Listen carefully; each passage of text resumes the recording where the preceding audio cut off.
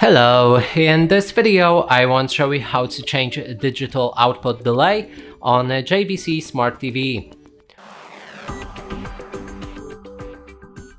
To do this, first we'll need to click on the settings button in the top right corner of the screen, scroll down and look for device preferences. Then scroll down again and find the sound. Scroll down yet again until you see digital output delay and you can adjust it using the slider.